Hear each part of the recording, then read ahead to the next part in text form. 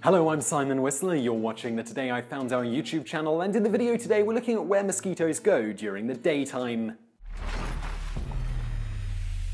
Mosquitoes are the bane of anyone who steps outside during the hours around dusk and dawn. If not caught in time, the creatures take a drink of blood and then leave behind an itchy bump and maybe a disease or two. But very rarely do the insects come out for a meal during daylight hours unless the sky is cloudy. So, where do mosquitoes go?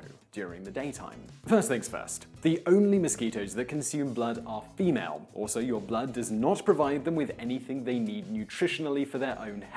Rather, they consume the blood of humans and other animals as a way to get certain nutrients needed for the proper development of their eggs. Yes, your blood is being used to make more mosquitoes. Once the female has safely acquired a blood meal, she will rest for a few days while her body develops the eggs from digesting the proteins and iron in the blood, producing amino acids which are used as the building blocks for the synthesis of the egg yolk proteins.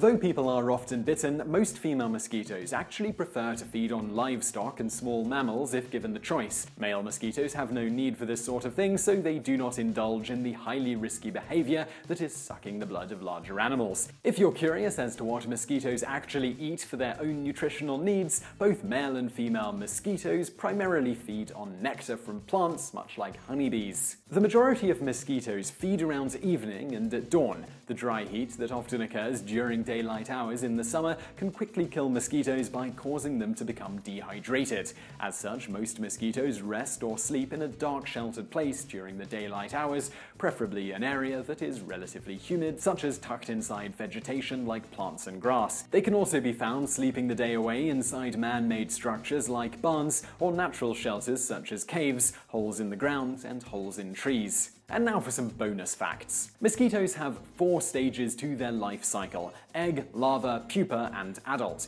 During the first three stages, they live entirely in water. During the larval stage, they feed on algae and other microorganisms and must frequently bob to the surface of the water to get air. During the pupal stage, they do not eat, but do sit at the surface and breathe air through two small tubes. At the end of the pupal stage, the mosquitoes crawl to a dry place to rest and dry off, with the males about ready to start mating and the females ready to start their adult lives as blood-sucking human killers. For instance, mosquitoes annually transmit diseases to over two-thirds of a billion people, or around 10% of the human population, and about 2 million of these people die annually from whatever disease they received through the mosquito bite. So I really hope you found that video interesting. If you did, please do click that thumbs up button below the video and subscribe if you haven't already for brand new videos just like this every day of the week. Also, over there on the right are a couple of other videos you might enjoy if you enjoyed this one, and thank you for watching.